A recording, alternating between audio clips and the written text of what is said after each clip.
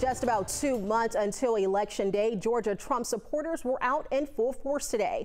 And this is not your average political rally. People were in boats, held a parade for President Trump on Lake Allatoona. You can see them waving their Trump flags. And we spoke to supporters who say they are confident he'll win the re-election. Because I think there's a lot of um, quiet majority out there, and um, we just, uh, you know, we're, we're supporting our, our, current president and hoping for um, four more years. I think we're going to get it. And there was a similar boat parade today in Augusta. Organizers call it an end of summer salute to the president.